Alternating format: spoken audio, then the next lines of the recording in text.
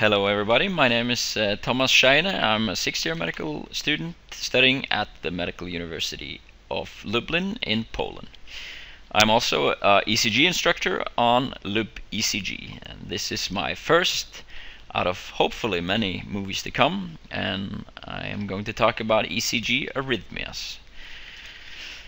Uh, this is basically what I'm going to talk about today. Uh, we'll start with the just the basics. Uh, hopefully you've been watching the videos that we have posted before because uh, I kind of hope you know uh, the basics before you start this one. So if you haven't seen the previous movies, just take a look at them before you look at this.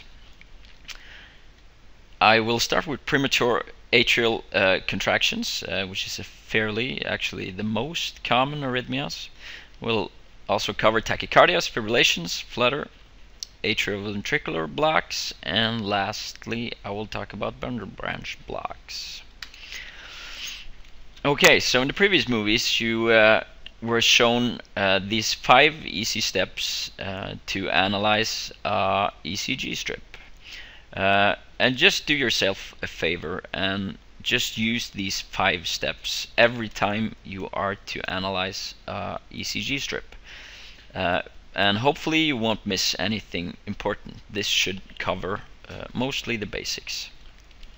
So I'll just fast just go through them uh, just to refresh your memory. First of all we have rate and when we talk about rate we talk about the uh, the beats per minute how many beats uh, you have per minute uh, when we talk about rate and and arrhythmias, it's also very important that we know how to uh, analyze the different intervals that we have. Uh, we'll talk more about that.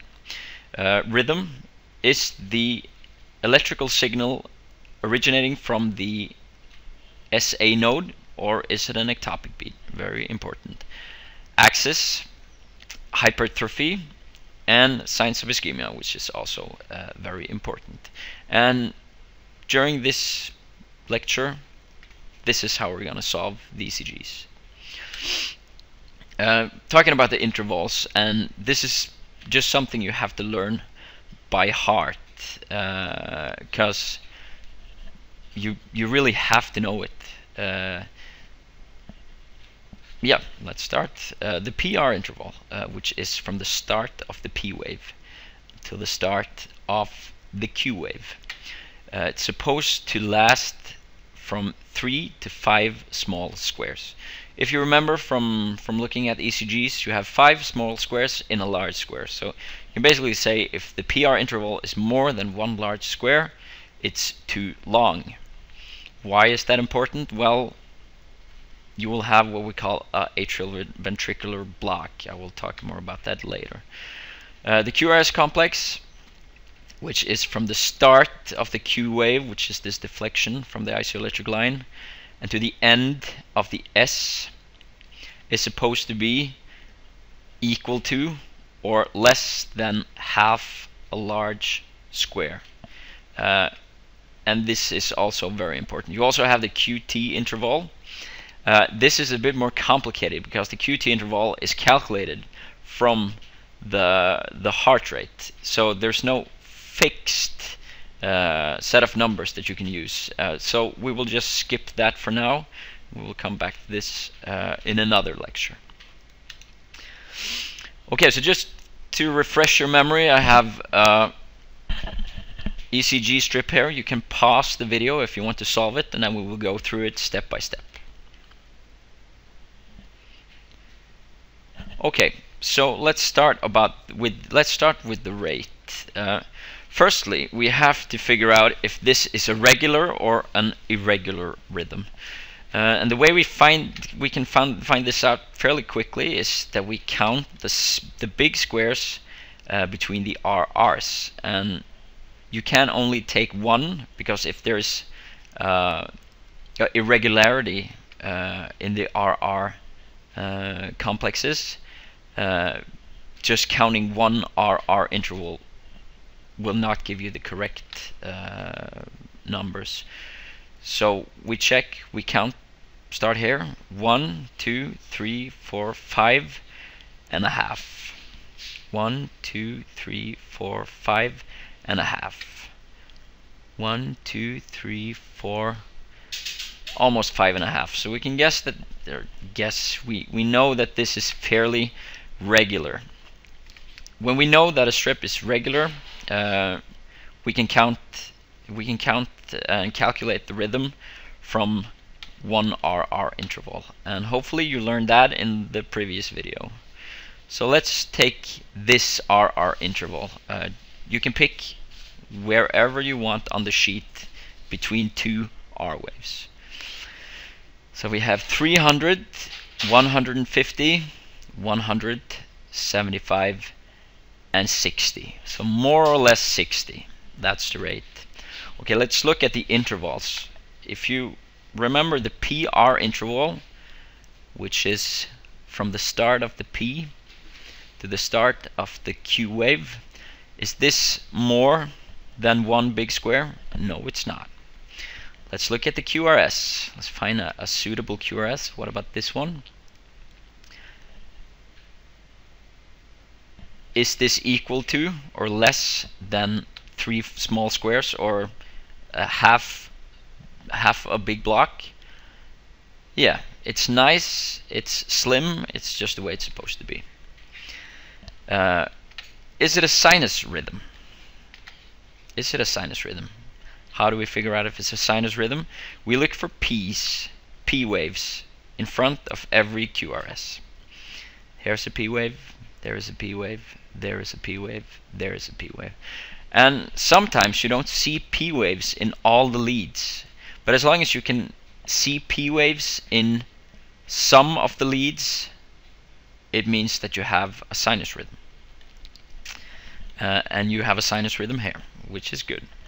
Next is axis we use the two thumbs up rule which states if lead 1 is positive you have a positive QRS it is. And lead AVF is positive. Yes you have a positive deflection not anything negative. You have two thumbs up meaning that you have a normal axis. Very good. Signs of uh, hypertrophy. Well you have a fairly big R wave in V3 and V4 which might indicate that there is some hypertrophy here are we seeing any signs of ischemia? And with signs of ischemia, we're thinking about ST elevation or non-ST elevations. In one, no. In two, clearly you have ST elevation. In three, yes.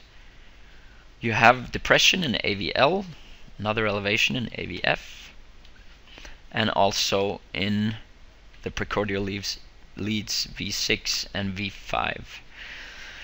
This will, uh, taking the clinical picture into consideration, uh, be typical of an inferior ST elevation myocardial infarction. Did you get it? Perfect. Okay, so let's talk a little about cardiac electrophysiology. What is what is uh, important to know from this, and hopefully you had it during your uh, physiology uh, classes, if you went to medical school, you know that each and every cell in the heart, either they're mon monocytes or nerve cells, even cells in the vena cava and uh, pulmonary veins, are pacemakers. They can all pacemake if they need to. This means that in any myocyte in the heart, they can start to propagate uh, electrical signal which will propagate through the heart causing the heart to contract. Uh, and if you can see here monocytes conduct fast. That means the muscles of the heart muscle cells. The nerve fibers conduct 5 to 8 times faster meaning that the nerve fibers of the heart There's is sort of like a, a highway for the electrical signal. It travels much faster giving the signal or spreading the signal throughout the heart and uh, propagating their signal to the monocytes which all cause the heart to contract. Uh, but as we know, as I just told you, the every cell can um, can start to uh, give off a signal which will cause a contraction. Uh, and this will be what we call an ectopic beat. Uh, just to uh, tell you about the golden rule, uh, which makes uh, classifying the arrhythmias very simple,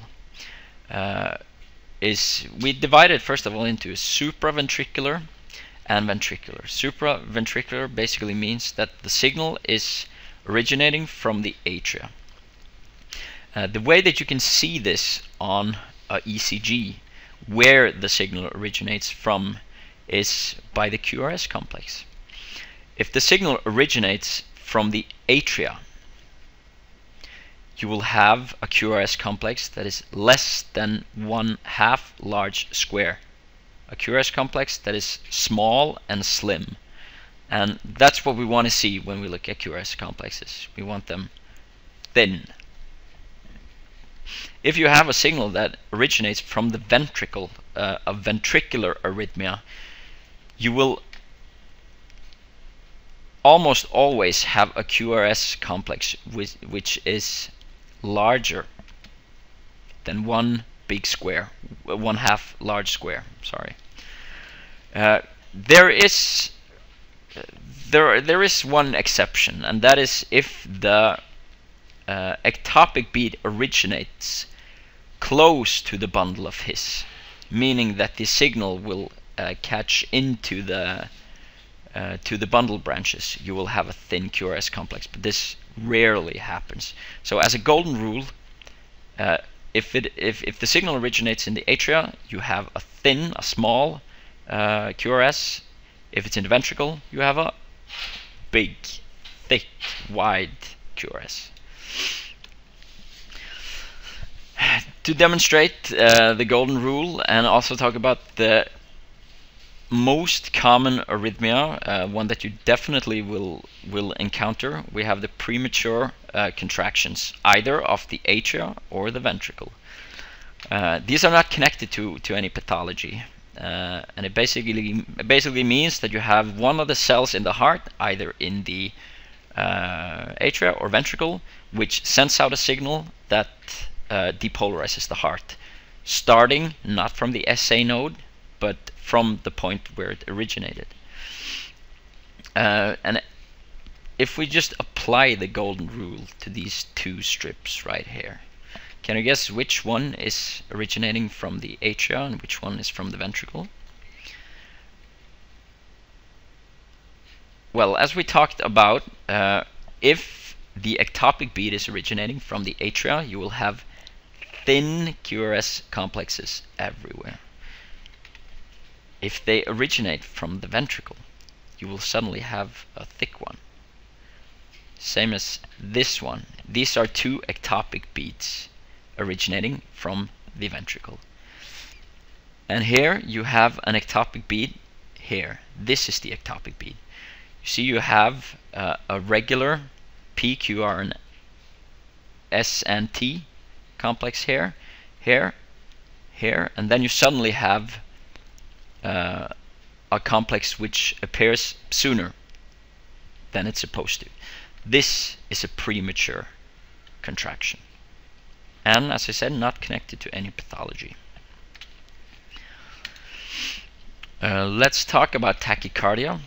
Uh, still divided into supraventricular and ventricular tachycardias.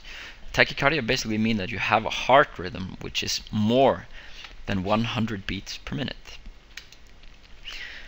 The supraventricular tachycardia, again applying the, the golden rule, tells us that we have thin QRS complexes. Okay, how do we know that this is a tachycardia? Well, we count between the RRs. So 300, 150. So about 150 beats per minute. This is a tachycardia. The reason why we know it's supraventricular is because of the width of the QRS complexes. And as you can see, we have P, QRS, P, QRST, P, QRST.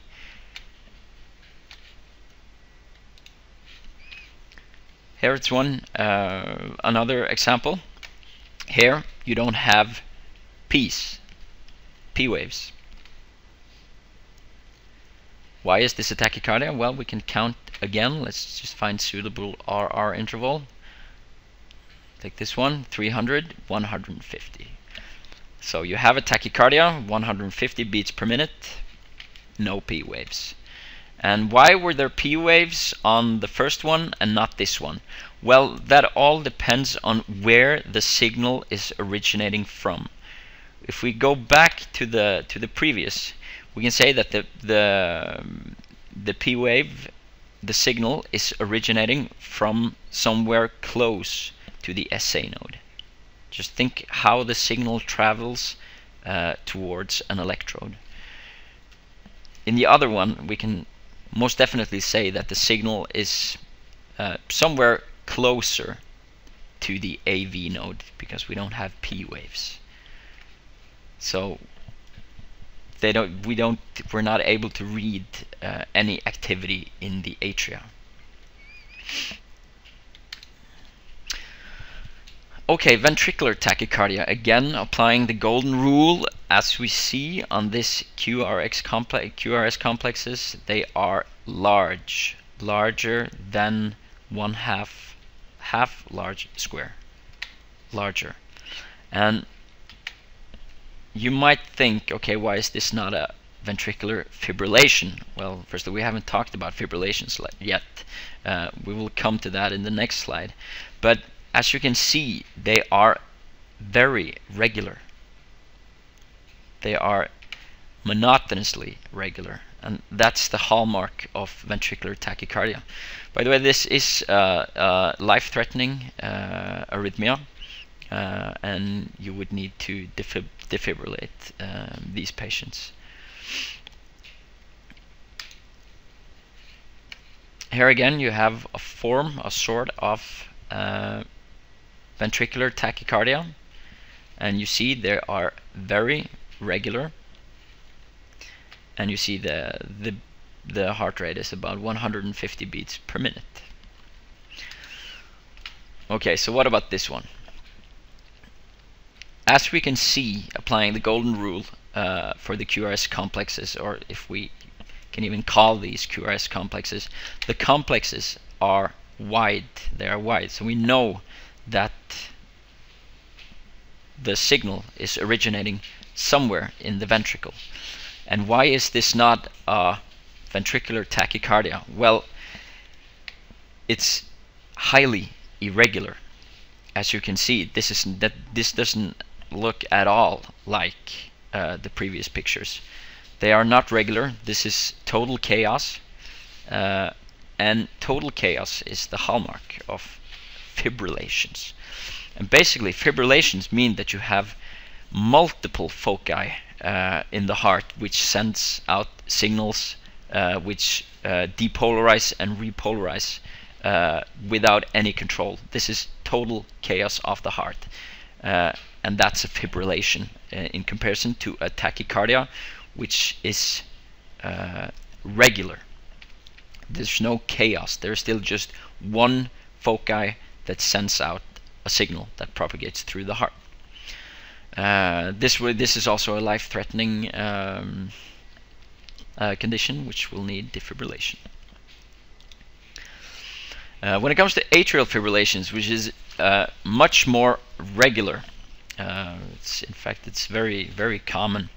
Uh, you still have this chaos, but it's in the atrium, and as you know, the, the atria and the ventricle, they're separated. And the only way from the atria to the ventricles is via the AV node. Uh, and the genius thing about the AV node is that it can selectively uh, choose which signal they want to propagate through the ventricle. Uh, meaning that even though you have chaos in the atria, you can still have uh, you can still have a much more order in the ventricle. Uh, it is uh, the hallmark of atrial fibrillation is its irregularity between their QRS complexes. Uh, you have no visible P waves. Even though you think you might see P waves, uh, they're not P waves. They are chaotic, uh, chaotic waves that we call F waves or fibrillation waves. Okay, so you see a normal ECG on the top here, and then you see atrial fibrillation here. Uh, you might think that you are, yeah, what about these waves? Aren't they P waves? No, they're not. This is chaos.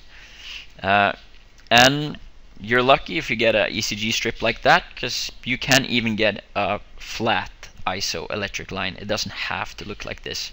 Uh, and the way that you can be sure that this is uh, atrial fibrillation is the irregularities between the RR intervals.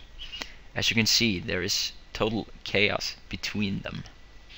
This is highly irregular. And this irregularity and the absence of P waves in front of the QRS complexes is the hallmark of atrial fibrillations. Here is one more, and here you can see there's not that much chaos on the isoelectric line, as you can see. It's, it's fairly flat, but there are no distinguishable P waves, and you see that it's highly irregular intervals between the R's. This is atrial fibrillation. You have the same here, a little more chaotic, uh, but still the irregularities is what gives it away. And as you can see, the QRS complexes are small. They're uh, not wide at all, meaning that the uh, arrhythmic foci is in the atrium. Then you have flutter. Flutter is basically a, a form of extreme tachycardia. It can either be atrial or ventricular, but these are still uh, just a form of tachycardia. Uh, you will often seen, see that uh, flutter uh, changes, they switch from tachycardia to flutter to fibrillations to flutter to fibrillations. Uh, the characteristic of, of atrial flutter is the sawtooth appearance. If you can see this, if you were to remove uh, the QRS complexes, this would look like saw teeth, and it's highly characteristic.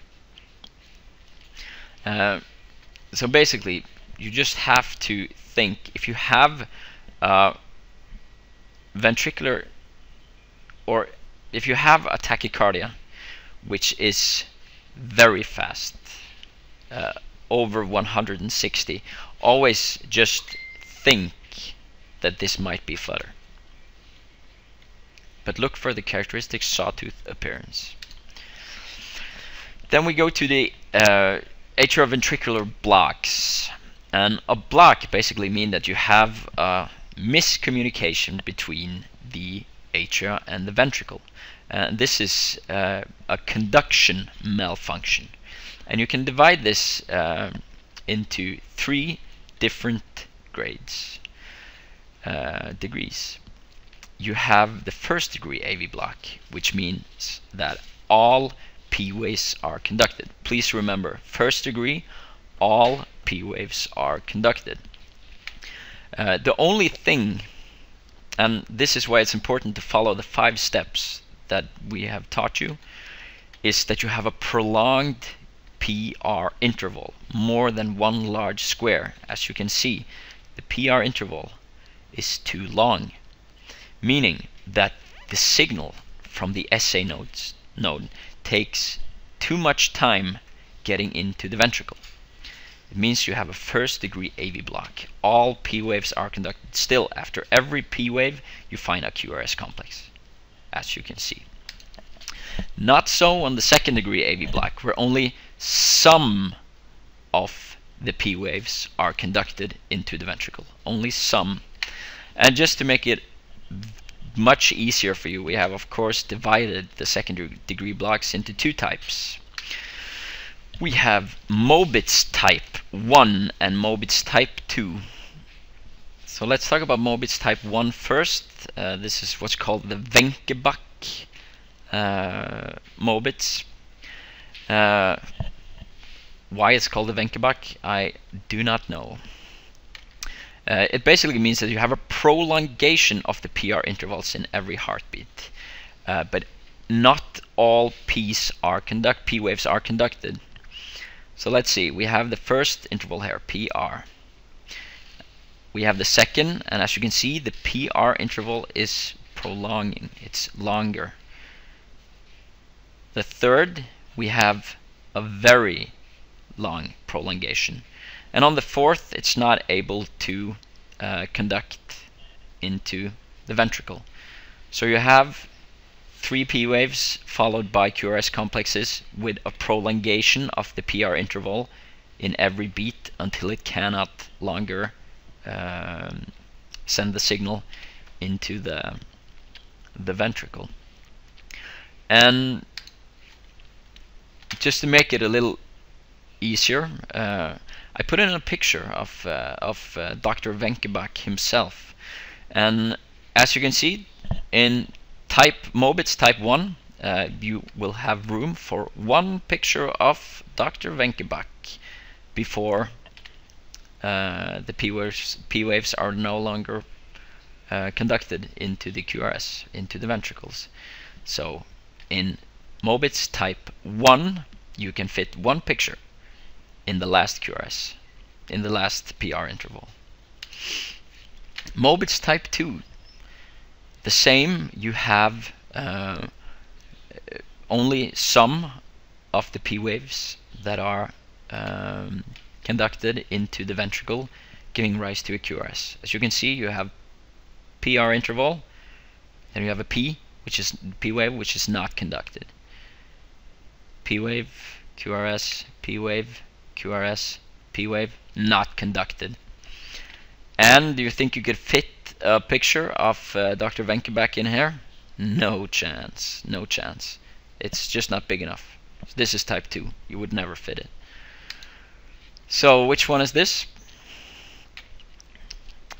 P Q R S T P Q R S T P Q R S T and then nothing. And you can even fit a picture of Dr. Wenckebach.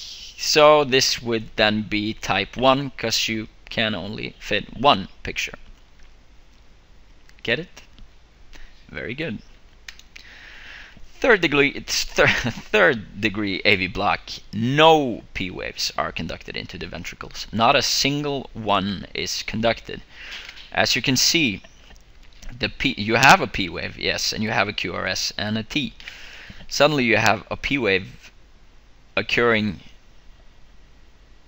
in the middle of, yeah, where you really wouldn't expect it to be. And then you have a P wave showing up here and a P wave showing up here and a P wave showing up here and so on.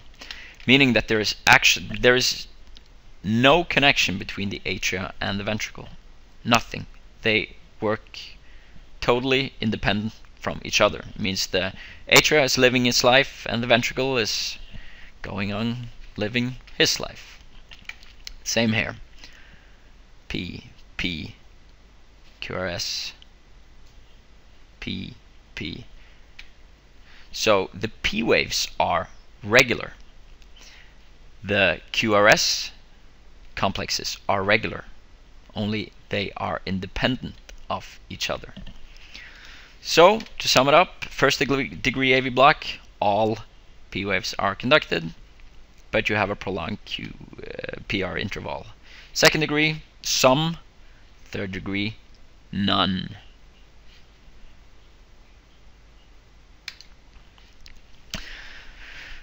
Then we're approaching the end of this lecture. I will just say a few words about words about the bundle bra bundle branch block. It's not the easiest word to say.